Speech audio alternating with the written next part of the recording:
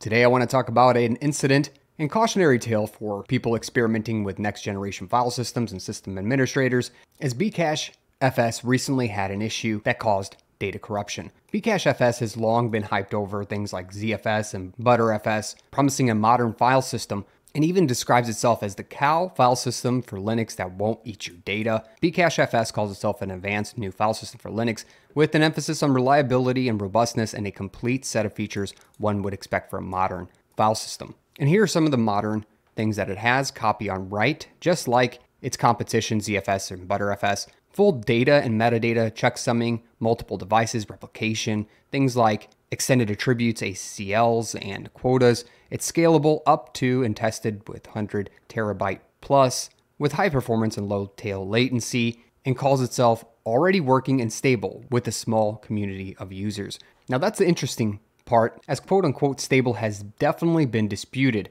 As in August of 2024, the lead maintainer here, Kent, submitted a pull request containing over thousands of lines of code that included significant changes that were way beyond mere just bug fixes. And Linus Torvalds himself expressed regret over merging Bcache FS into the kernel, citing concerns about its integration, development process, and testing. And today we see another incident that would back this up.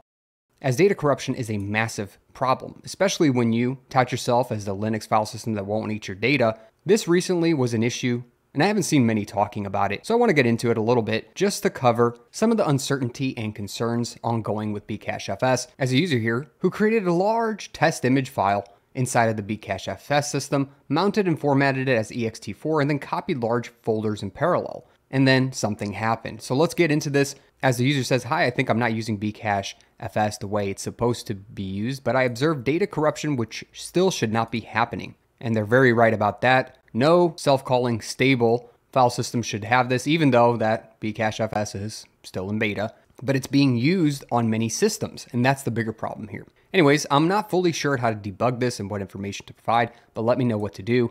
I have a system with Bcache FS on a small SSD for cache and a large hard disk for storage. Then they ran a few commands here, which they allocated a file called test image with 512 gigs. Then they created a new ext4 formatted file system that's used by many Linux distributions into test image.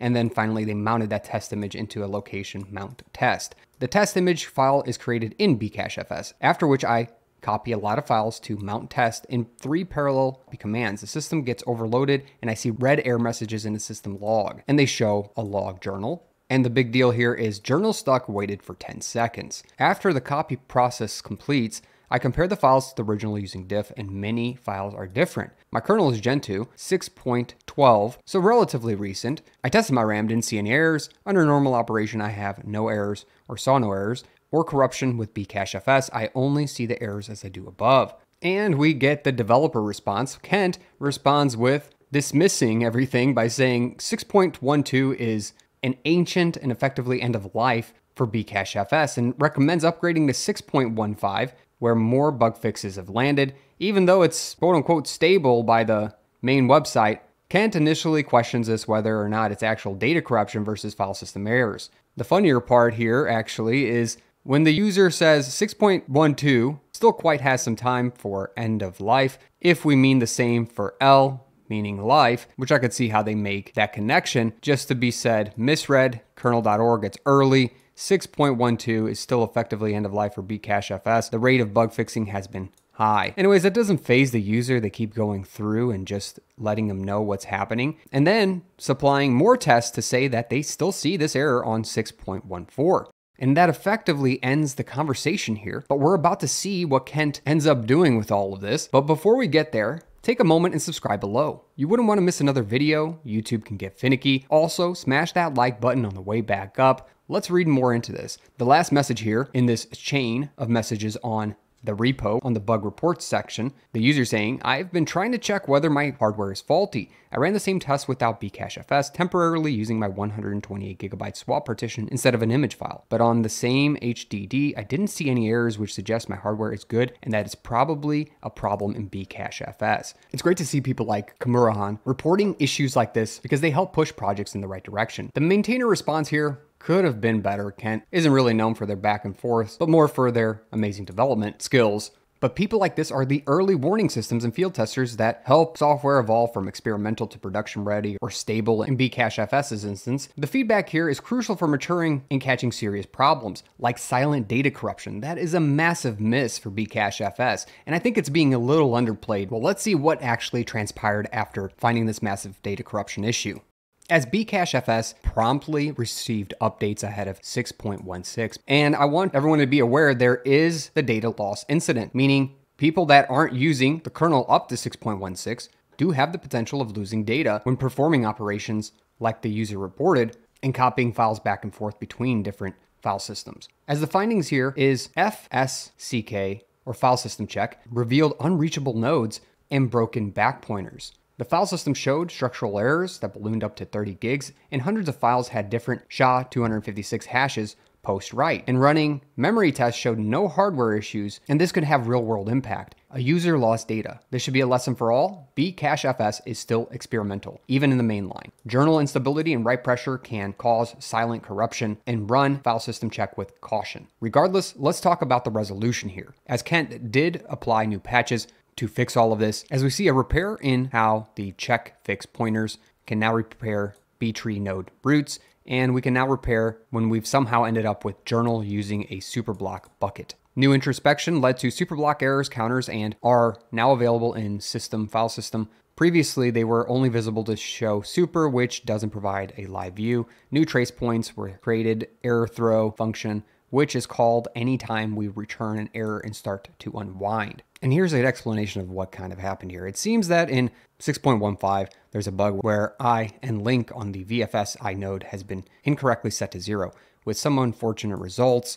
And then the two fixes here. BCH2 inode remove function now returns should we be deleting this inode, and check subvolume was treating the dangling subvolume pointing to a missing root inode like dangling dirent and deleting it. This took longer to debug than it should have, and we lost several file systems unnecessarily because users have been ignoring the release notes and blindly running file check with the dash Y flag, meaning yes, sort of a force. Debugging required reconstructing what happened through analyzing the journal, which ideally someone would have noticed, hey, file system check is asking me if I want to repair this.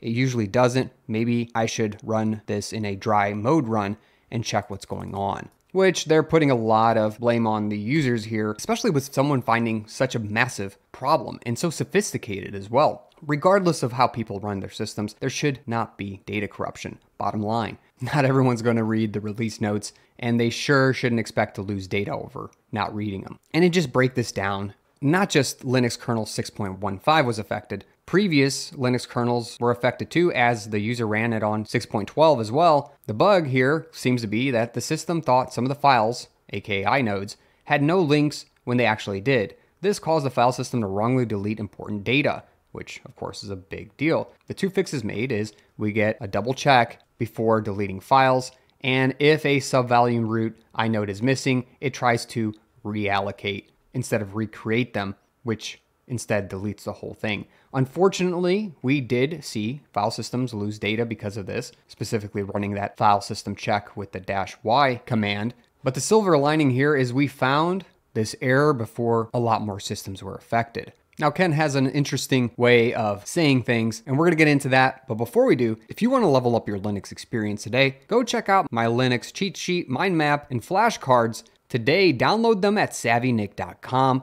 Let's now talk about this incident. According to Kent, up to this incident, we've had an excellent track record of not losing data, so let's try to learn from this one, which is interesting as Bcachefs has been doing well for an experimental file system, but they're trying to get to stable. As they've only had a relatively strong early track record, not really one labeled instability quite yet, as this incident actually highlights why it's not exactly ready for production safe. Anyways, this is a community effort. I wouldn't be able to get this done without the help of all the people QAing and providing excellent bug reports and feedback based on the real world usage. But please don't ignore advice and expect me to pick up the pieces. Kind of backhanded here, as it first acknowledges the fact that the users and testers were crucial for development of Bcachefs and gives them the credit where it's due. And then at the end, shifts the responsibility onto the users, implying that they cause or worsen the problem by ignoring advice. It just feels off. It goes from a collaborative nature to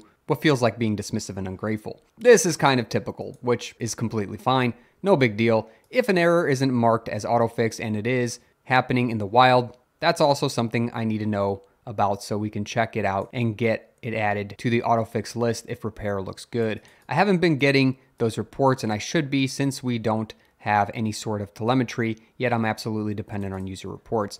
Now we'll be spending the weekend working on a new repair code to see if I can get the file system back for a user who didn't have backups. Now, that sucks. As the biggest lesson and takeaway from all of this is behind any file system on any disk, you really need to be making thorough backups of any system that you're using. The fact that Kent is trying to personally rescue a user's file system should not be the case. I gotta say, props to Kent for even trying to help with that. As a user, let's take this as a cautionary tale of you need to have backups. They aren't optional. It doesn't matter if you're using bleeding edge technology or not, or an experimental file system or not. Tons of things can happen. Your disk can fail, there could be a failure in the write process, some panic might happen, some new hardware might damage your system. There's all sorts of ways to lose data. This should be a wake up call to everyone. Just go make sure that your backups are working and that you actually are making backups. As yes, this was an unfortunate issue, but the user would have been much better off if they had a backup copy of what they were working with. Either way, I want to know how you're making your backups in the comments section below. Let me know. Maybe someone learns from you. Don't forget to go down and subscribe right now and then come back up, smash that like button. You made it to the end. You're a true fan. Thanks for watching today, and I'll catch you in another video.